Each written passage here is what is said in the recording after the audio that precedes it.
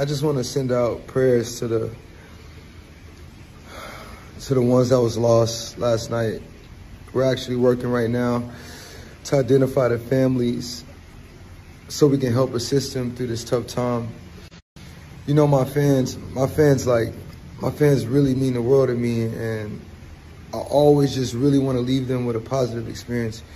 And anytime I can make out, you know, anything that's going on, you know, I, you know, I stop the show and, you know, help them get the help they need, you know.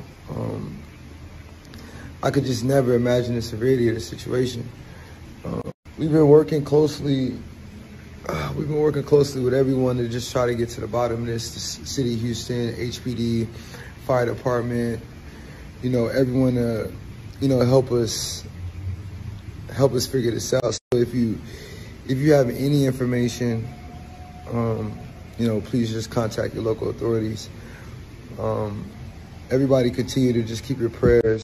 I mean, I'm, I'm honestly just devastated and I could never imagine anything like this just happening. And I'm gonna do everything I can to keep you guys updated and just keep you guys informed on what's going on.